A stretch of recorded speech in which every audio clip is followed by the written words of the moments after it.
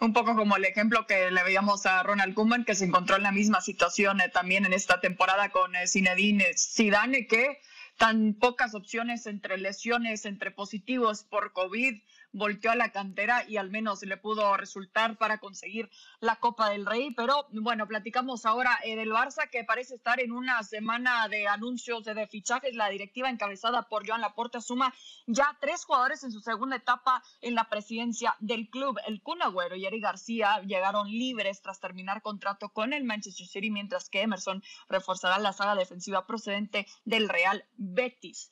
A ver, Andrés, ¿qué te parece que eh, vieron esta opción? Se aprovecharon más que nada de ahora eh, hacer válida la opción de regresar a alguien como Emerson Royal para tener ahora un refuerzo eh, como lateral por derecha. Sí, a ver, yo creo que lo que ha hecho bien el Barcelona es sobre todo con algunos jugadores, caso Emerson, García iba a venir al, Barcelona de todas maneras, pase lo que pase, es tratar de mover fichas antes que se vengan los torneos internacionales. Es decir, por un lado el Barcelona quiere comprar antes que vengan los torneos de selecciones y tratará de vender después de los torneos de selecciones esperando que alguno de los jugadores que tiene en el mercado tenga una buena participación con su equipo nacional y eso termine por valorizarlo en un probable mercado. Creo que eh, hay algunas que son estratégicas, estoy muy de acuerdo con la del Kun entendiendo que eh, habrá que ver cómo está físicamente, con una buena pretemporada y con un buen trabajo, pero creo que tiene todo el sentido del mundo porque mejora una posición en la cual no tenía un titular indiscutido, llega gratis, se baja el salario para jugar eh, con Messi, eso te ayuda a retener a Messi, da la sensación, García quiere jugar en el Barcelona, ha vivido desde las inferiores en el Barcelona, entiende lo que es el club y cómo se maneja, y también se ha tenido que bajar sus pretensiones para llegar. Creo que ha sido inteligente en estos primeros movimientos el Barcelona como para, uno, mostrarle a Messi que trayéndole algún agüero lo quieren y, le están armando un plan. Dos, dar los primeros movimientos en, en traspasos que tienen muy a la mano y a partir de ahora habrá que esperar a ver qué pueden vender y a cuánto para ver cuál es el siguiente paso que puedan dar, pero necesitan claramente deshacerse de muchos jugadores. Es que esa es la clave. Es que yo no creo que sea un éxito estos fichajes. Esto, primero, porque han venido gratis. En segundo lugar, porque Emerson se ha pagado, pero porque había una cláusula que lo compraron a medias el Betis y el Barcelona con la condición de que si el Barcelona lo quería recuperar, pagaba esos 9 millones de euros. Y nada más. Y nada más que es que no se ha hecho nada, que es que se está vendiendo aquí como que el Barça está renovando plantilla cuando lo que ha hecho ha sido traer a tres jugadores casi gratis, si quitamos lo de Emerson, porque Eric García quería venir ya desde el año pasado, acordaros, ya desde el año pasado y con otros técnicos, y porque el Kun Agüero, pues bueno, su último gran contrato, aunque se haya bajado el, dinero, pero tiene ya una edad como para venderlo como gran fichaje. Yo creo que el mayor problema que tiene el Barcelona es las salidas, lo decía Ricky antes hablando de Marcelo y de otros jugadores del Real Madrid, pues preguntarles a los del Barça, ¿a dónde se quieren ir? Que les pague lo que les paga el Barça. Y mientras ellos esos no se vayan, y de momento no se ha ido ninguno, hay overbooking en un vestuario que va a tener muy difícil hacer las salidas, casi va a tener que regalar jugadores, con lo cual yo desde mi punto de vista, que lo hayan hecho antes de los grandes torneos internacionales, la llegada de estos tres, si es que da igual, si es que estos tres, yo creo que Eric García no jugaba, el Kun ha jugado poco o nada y llega con, con la edad que tiene, y Emerson al final lo tenían arreglado con el Betis desde el año pasado cuando lo ficharon yo creo que todavía, igual que lo digo del Madrid, al Barcelona le queda mucho, mucho recorrido este verano para que se intente mover si es que lo consigue. Solo lo va a conseguir, como decíamos del Madrid, si vende. Y vender a quién vendes y por qué precio jugadores a los que estás pagando las millonadas que estás pagando. Bueno, ya regalaron prácticamente a Luis Suárez y en precio también a Iván Rakitic, lo que habíamos Claro, claro, lo, veíamos la temporada pasada y en cuanto a nombres también, eh, Ricky, es interesante lo que dice Manu, ¿no? Están viendo estos jugadores que, que llegan nuevos elementos y quizás sí les puede incomodar un poco también pensando en lo que les puede suceder en algún futuro.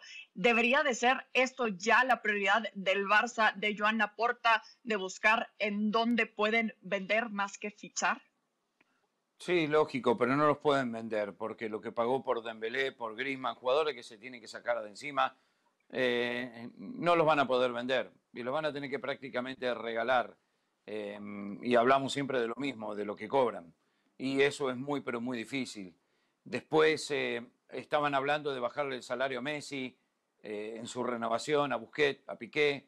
está en serios problemas el Barcelona y en esos problemas yo creo que con los tres jugadores que trajo, en la situación que se encuentra, me parece que ha hecho las cosas bien, porque no tiene para otra, para, para, para otra cosa. Ahora, eh, García y Emerson son defensores. Se habló, ya se van a, dos años se está hablando de que se necesitaban defensores, de lo que había, y bueno, es lo mejor.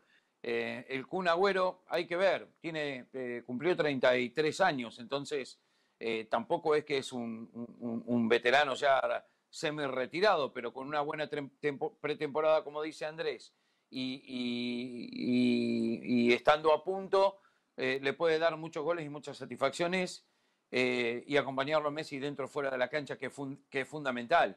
Pero traer el Barcelona no va a poder traer. La otra cosa es que eh, se espera que Ansu Fati vuelva ya de esta lesión y es un jugador extraordinario que también podría ser una buena combinación con Messi, con el Kun Agüero. Pedri tiene un año más de experiencia, yo creo que resultó muy bien. De Jong terminó jugando a un nivel muy, muy alto y está llegando a un punto de madurez que va a ser uno de los mejores en su posición. Yo creo que el Barcelona eh, está con un buen equipo y estuvo cerca de quedarse con la liga. Ahora, la Champions está años luz con lo que tiene. Y eso es una, una realidad. Y la otra es convencerlo a Messi eh, que no solo que se quede, eh, que esté contento mientras se quede. Lo cual yo me parece que va a ser muy difícil va a ser un mercado de, ¿eh? mucho sobre la hora, ¿eh? perdón, Manu. Es decir, si vos llamás hoy a la oficina de Barcelona y decís, ¿cuánto vale Coutinho? Te decís, bueno, vale 100 millones y tenés que firmarle un contrato. Llamás dentro de dos semanas, te van a decir, bueno, vale 65. Y si llamás a cuatro horas que se cierra el mercado, te van a decir, si le pagás el salario, te lo, mando con un monio.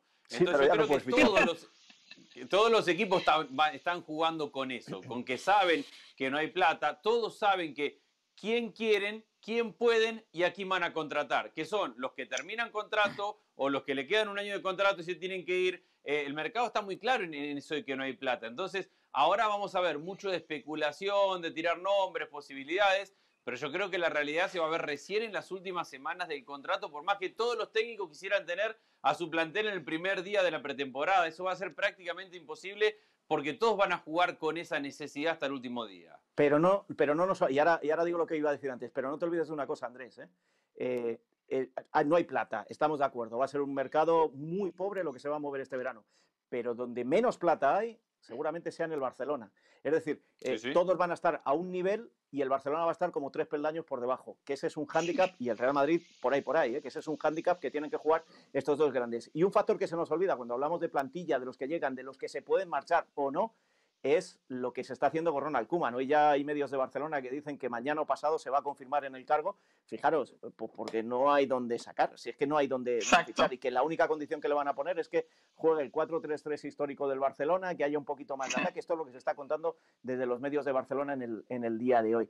Creo que es un claro ejemplo de dos cosas. Una, de lo, lo, mal que tiene que estar el Barça a la hora de negociar que un, entrenador que no quiere el presidente se va a tener que quedar porque no le pueden echar y, perdónenme, la poca personalidad que tiene ese entrenador al que se han reído de él durante 10 días y va a aceptar quedarse un año más en el Barcelona. Sí. Pues, ¿por, qué? Por 8 millones de euros. Yo creo que Ronald Koeman, a mí me vendría muy bien, pero a Ronald Koeman no sé si le sobran, pero tampoco es que le hagan falta. Y creo que es un poquito de falta de personalidad por parte de Koeman aceptar que te quedas en un equipo donde no confían en ti. Es lo de la boda que decíamos el otro día, Chris, y lo dijo su representante. Sí, pero Manu, pero al final de cuentas, todo eso es verdad. otra mejor, me caso con la otra. Y como no todo eso es verdad. la boda, me caso contigo. Está bien, pero todo eso es verdad hasta que arranca la temporada y sos el técnico del Barcelona. Y, una vez que sos el técnico del Barcelona, porque esto mismo decíamos el año pasado, ¿para qué va a ganar un equipo que no tiene presidente dentro de un mes? No sé cuánto. una vez que arranca la temporada. Se firma dos años porque había confianza. Este año se ha reconocido públicamente. Se le firma dos años porque sabían que en un año se iban, Manu. Sabían que en un año se iban por. El, presidente Bartomeu sabía que en un año se iba. Se firma dos años porque Kuman le dice: si no me da dos años, ni dejo la selección de Holanda. Entonces agarra. Y una vez que agarras, a lo que voy es. Entiendo lo que decís y, y tenés razón en que hay cierto desprecio en que, eh, que está porque no hay otro. Una vez que agarrás y que tenés este plantel, ya sos el técnico del Barcelona y competís por la liga. Y, eso le pasó este año con toda la desconfianza del mundo, a cuatro fechas del final dependía de sí mismo. Sí, pero no se le pudo echar cuando estaba a 11 puntos del Atlético de Madrid porque había una junta gestora y no había presidente. Esta temporada que arranca hay un presidente, un presidente que le ha dicho no te quiero y a las primeras de cambio, como el Barcelona encuentre un recambio, va fuera. Y con que no lo tiene. En un vestuario. Que no lo tiene tampoco. Es un presidente que no tiene técnico. No tiene su candidato tampoco, ¿eh? Sí, sí, pero la presión, pero si ya no hablo ni del presidente ni del entrenador, hablo de los jugadores. Los jugadores saben que como este no me ponga, como este me quiera poner en otra posición, como a mi amigo de al lado, y no doy nombres, no le ponga de titular, a lo mejor lo que hago es que me relajo un poquito a ver si le echamos y viene otro. Esto lo hemos vivido en muchos clubes. Se llama, en España le decimos hacer la cama. Ronald Kuman va a salir indefenso, bueno, va a entrar al vestuario y va a salir a la cancha a mí indefenso porque no, me sorprendería que lo ratifiquen y le den un segundo año de contrato. No me sorprendería. Eso es lo que se está diciendo, que para que se quede tranquilo, le van a decir que se queda y que le hacen eh, bajo condiciones. Es decir, si gana la liga, renueva un año más y hace no sé y qué. Te, y te digo más, si cobra 8 millones, no me sorprendería que le digan dos años por 12 millones, porque lo que necesita el Barcelona es bajar los pagos de este primer año y, patear pagos para, para lo más adelante. Entonces, en vez de 8 este año, te 6 y 6 a mí lo que me parece es una falta de respeto a tu jefe máximo deportivo. Y me parece una vergüenza que se llame Fútbol Club Barcelona ese equipo, porque no tiene nada que ver con el que yo he conocido. Me parece una broma lo que le están haciendo a Kuman. Y lo peor, Pero, Manu, me parece es que, Kuman lo está Lo están haciendo todos. A ver, el Real Madrid trae un técnico que va a ganar mucho menos en el Real Madrid que en el Everton. Que yo te hablo de que le digan a la cara hace una semana, si encuentro otro mejor, estar fuera. Y él se aguanta y se queda ahí parado, esperando a ver si encuentra otro mejor o no. Muchas gracias por ver este video. Si no lo has hecho todavía, te invito a suscribirte a nuestro canal de ESPN Deportes en YouTube. Recuerda que si vives en los Estados Unidos puedes bajar ya la aplicación de ESPN Plus y tener acceso ilimitado a más resúmenes, análisis y contenido exclusivo del mundo deportivo. ¡Hazlo ya!